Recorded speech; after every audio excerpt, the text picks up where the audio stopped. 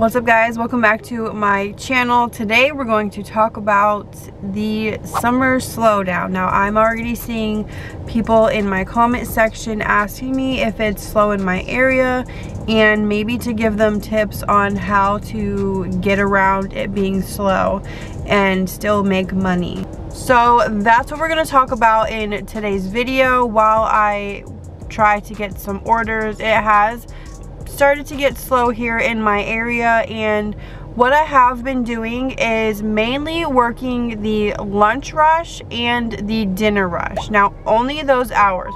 We know that it already gets slow during the, the middle of the day, like between breakfast and lunch, between lunch and dinner. So like from 1.30 to 4, it starts slowing down because not many people are ordering food. So I don't deliver during those times. So my advice to you is to only deliver during the peak hours which for me is 11 to 1 would be the lunch rush. And then the dinner I come out about 4 o'clock. 4 would be the earliest that I come out till whenever because I noticed that whether it's 7 or 8 or 8.30 like I'm still consistently getting orders and I don't deliver after dark. But if you do I think you could deliver till probably 10.30 and still be consistently getting orders and it won't be getting slow just yet. But this does also depend on your area I'm going to talk about the Solo app once more because they have a new feature on their app. Solo has a new Marketplace Insights tool and by adding the city you're working in and the platform app that you want to work on it will show you the best days and the busiest times in your area for you to work. Now I am partnered with Solo and y'all know I am obsessed with the Solo app and all the perks that they have to offer such as their automatic mileage tracker, their tax estimations throughout the year, and their guaranteed earnings which I talk about multiple times here on my channel. You could download the Solo app with my link below and it will start your account out with $10 and the amount that you see that is offered a guaranteed offer in your area if you don't make that hourly pay the Solo app will pay you the difference. There is a risk-free subscription that they offer with more perks and there's more information. When you download the app, make sure to link your gig apps. They use so many gig apps. So link at least one and then your Venmo or their, your PayPal because that's how they're going to pay you. And when you activate the $10 bonus, it will be paid out the following Tuesday. I just got an order up here at the Jersey Mike's. It was $8, two point something miles. So we're gonna go pick it up. Up? Yes, this one up here. Thank you. Have a great day. You too. All right, I'm putting it into my hot bag. It's two miles away and it's a leave at door and the address looks like a house. So another thing that I recommend is not being so picky with the orders that you take. During the slow times, now it's, it's not that there's less orders, it's that there's more drivers in your area. So then you have to be a little bit less picky with your mile per pay ratio and probably taking a couple orders with just a little higher mileage instead of just sitting there waiting on orders.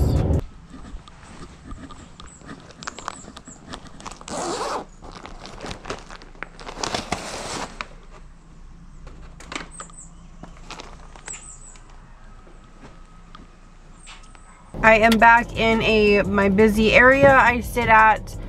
Normally I get an order before I make it back to the plaza area but lately, okay, $3, seven miles, I have to decline that one. But lately I have been noticing even during lunch rush is that I make it back and I wait a few minutes. Here in Florida, we have a week and a half left of school and then it's the summer break so that usually indicates when the summer slowdown starts. Let's see what DoorDash is sending me. Seven dollars seven miles. I'm going to decline that one.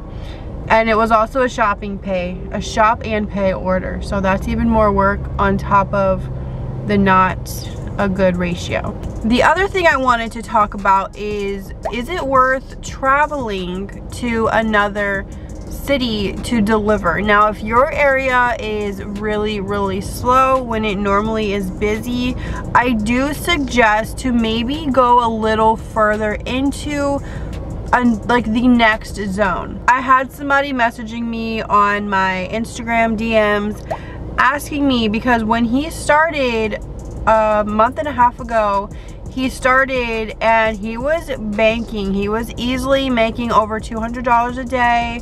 And now he's saying that he's like barely making a hundred and he hasn't changed anything. So that definitely indicates that his area is already seeing the slowdown which when I say slowdown I don't just mean nine miles it's mainly more of a saturation there's more drivers out the economy is so rough right now when it comes to inflation and everything going up and people are trying to have any side hustle money that they can and food delivery is one of them. I've been doing these food delivery apps for four years now. This month puts me at my fourth year. Oh my gosh, $2 decline. DoorDash sent me nine miles. I'm declining that one too. So you see me over here declining all these orders, but they are absolutely horrible. I cannot justify that. This one I can. It's just wings. That's actually Chili's. That is actually Chili's Ghost Kitchen. So a Chili's order for 3.5 miles, 850. I will accept that one. So I'm gonna go turn my my Uber Eats off. Head west and Brandon Boulevard. We're gonna head to Chili's. I personally travel from the Tampa area to the Brandon area just for video purposes. I don't want to film or pick up from my local restaurants. So I already travel, I'd say 10 to 15 minutes away from my area. I could easily turn the app on in Tampa. And the some days when I don't film, I do deliver closer to my area. Are you giving me an add-on? $4 for an additional, that's at a different restaurant. Try again. I do commute, I call it commute because I, I just don't want to deliver in my area. Now don't go driving too far to where your, your gas on your commute is eating up your profits but definitely try some more areas so normally at this location I don't wait in the car because I will be waiting here for so long. I just go inside and get my order. But the app is showing that it says to wait in the car specifically and it popped up asking what number curbside spot I'm in. So I put the number we're gonna wait. It is one minute past the pickup time. So I'm to give it a few minutes and then I'm to go inside. It also shows the make and model of my car and it says the merchant will look for this vehicle. So I don't know if that's because it's their ghost kitchen. That makes more sense. Because when I do the Chili's pickup, I don't see this. it is sitting here.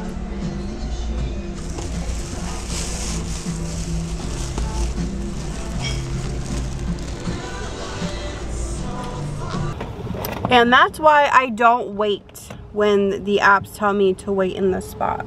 Hand it to me in a medical center so I will not be filming the drop off.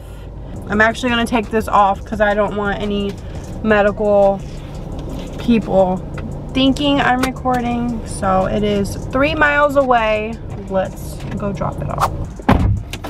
All right, that was at a medical place I have delivered to before I actually turned a turn um, sooner than I was supposed to. So I had to walk a little bit over there. It was easier to walk than to like go back out. I have just a little bit before I got to head to my daughter's school and my side of town. So I'm gonna leave you guys here. I'm gonna try to get one more order maybe taking me into my direction. One last thing I should definitely add is if you are using one app, now is the time to get on other platforms. As you've seen, I'm using Uber Eats and DoorDash today, and when one is slow, the other one will be sending me good orders. So multi-apping is definitely the way to go when it comes to beating the summer slowdown. If you have any tips for other drivers, please leave them down below in the comment section. If you have any questions, let me know. I love chatting with you guys down there. Please give this video a thumbs up if you enjoyed it. subscribe. What was that? Consider hitting subscribe before you go. And I will see you guys in my next video. Bye.